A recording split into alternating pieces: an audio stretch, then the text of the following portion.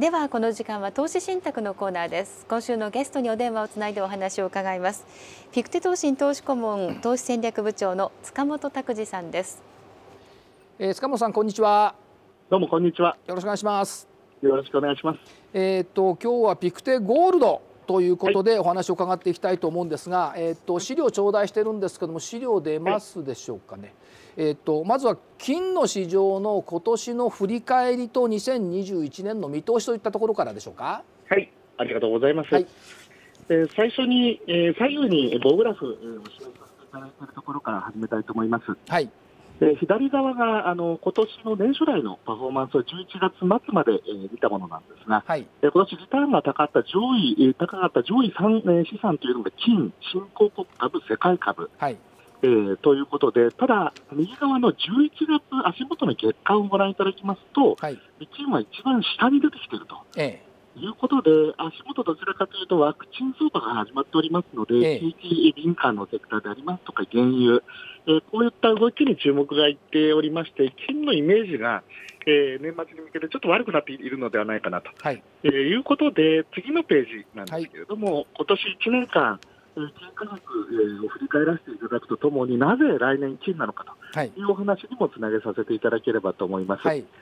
でこちら、えー、上からですね、えー、昨年暮れからの緑色が金価格、えー、そして合わせてニューヨークダウも示しさせていただいております。はい、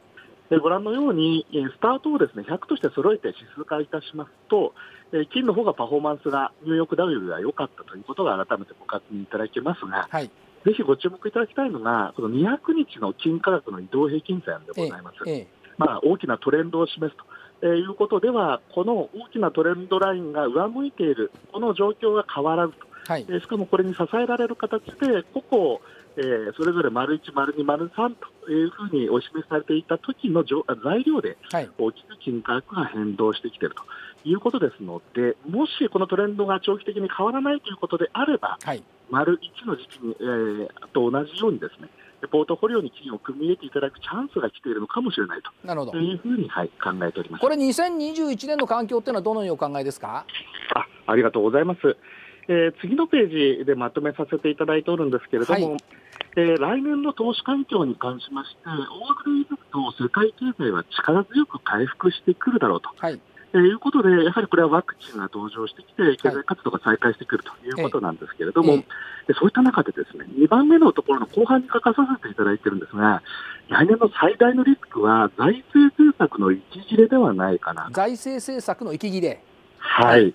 え今年、えーまあ、コロナ対策ということで、緊急的に、えー、世界の中央銀行を、えー、合算しますと9兆ドルほどですね、はい、えー、バランスシート、えー、膨らませましたけれども、おそらく来年はせいぜい、えー、3兆ドルぐらいかなと、3兆,、はい、3兆ドルぐらいかなというような見通しでおります。で、えー、さらに、あの、金利を、まあ、インフレ懸念が出てまいりますと、金利は上がらざるを得ないんですけれども、はいえー、この国の借金の債務の対 GDP 比率が増えてしまっておりますので、えー、当面、低金利継続、はい、で、えー、再来年あたりからのインフレ、圧力の顕在化を年の後半に織り込みに行くような、はい、そういった相場を展開しております。なるほど。でそういった中で、えー、注目したい今年あの来年のですね5つのテーマということで、えー、はい、ここに挙げさせていただいているんですが、えー、中でも来年は3番目にお示ししております、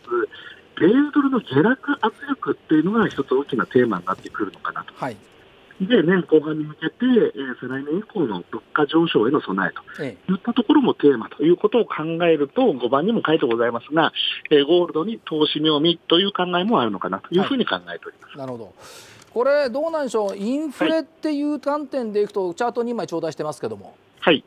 あありがとうございます。えまさに今ご指摘いただきましたインフレのですね時系列での、え予想というのを右側のグラフでお示しさせていただいております。はい、えご覧の通り2020年に向けまして、このコロナの影響が、まずはデフレという形で色濃く世界経済に、えー、影響を残しておりますけれども、はい。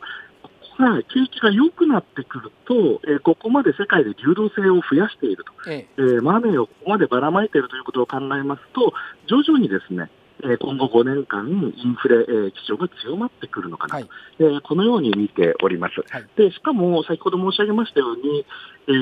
ー、まあ、左側のところで GDP 約4%も大きく世界の経済が失われたとい。うふうにお示しさせていただいておりますが、それに対して、まあ、財政、金融とここまで出してまいりましたもので、今、えー、対 GDP 比で先進国の国の借金の比率というのが第二次世界大戦並みまで伸びてきていると。はいいうことを考えますと、簡単には金利が上げられない、私ども金利をよくあつというふうに、はい、え最近申し上げておるんですけれども、はい、そうなりますと、金利が変わらず、名目金利が1%あんまり超えないんではないかと。いう中で、インフレが上がってきますと、いわゆる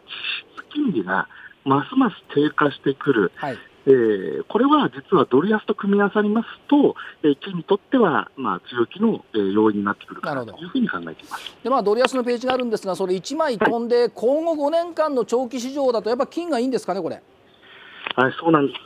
その、えー、今飛ば、飛ばさせていただいたところは、あの、ドルの見通しなんですが、はい、やはり先ほど口頭でもご紹介させていただいたように、双子の赤字の拡大でドル安になるだろうと。えええー、ということになりますと、えー、左側、あのドル安の恩恵を受けるのが2つありまして、はい、1つは新興国株ですね、はい、そして右側にありますように、オルタナティブ資産の中でもゴールド、はい、えー、これはやはりドル、えー、という通貨の価値の下落、えー、がですね、はい、えー、金へ、えー、投資意力を高めると、はい。えー、いうこと、えー、あとは債券がですね、ご覧の通り、私ども円換算ベースで長期で見た場合に、えー、ほぼリターンを生まなくなる資産と。いうふうに考えた場合に、やはりあのリスク資産へのヘッジするためのですね、はい、えー、ツールとして、この金というのは債券の代替として今後注目されていくんではというふうに考えております、はいまあ、あと2分ほどなんですが、ピクテゴールドのご紹介、頂戴できますでしょうか？あありがとうございます。えー、まあ、そうした中、えー、ゴールドに投資をいただくにあたりまして、はい、えピクテゴールドということで、こちらに、えファンドの特色、えー、リストさせていただきます。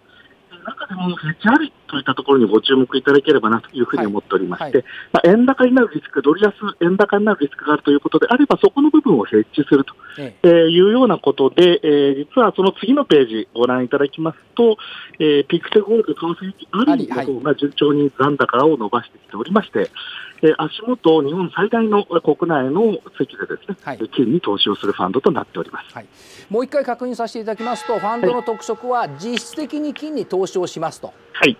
からまあ為替ヘッジありですと原則として為替ヘッジを行い為替変動リスクの定義を図りますと、はい、から3番目が年1回決算を行いますと。はい、おっしゃる通りでことで、まあ、あの基準価格も上がってきておりますし、はい、純資産総額も増加してきている、これが今、現状という形で捉えていいわけですね。はい、おっしゃる通りでございます。ありがとうございます。となってくると、おまあ、来年についても、まあ、先ほどのご説明いただきましたアメリカの負担後の赤字とかですね、世界経済のインフレ、えーと、緩やかなインフレ率っていったところを背景に、金の投資環境はいいというふうに見ていくと、やっぱり投資妙味ありと考えてよろしいんでしょうか？あおっしゃる通りと考えております。はい。かりました。塚本さんありがとうございました。どうもありがとうございます。お話はピクテ同心投資顧問投資戦略部長の塚本拓司さんでした。ご興味ありましたら、えー、松井証券のホームページ等々でご確認いただければ、はい、というふうに思っております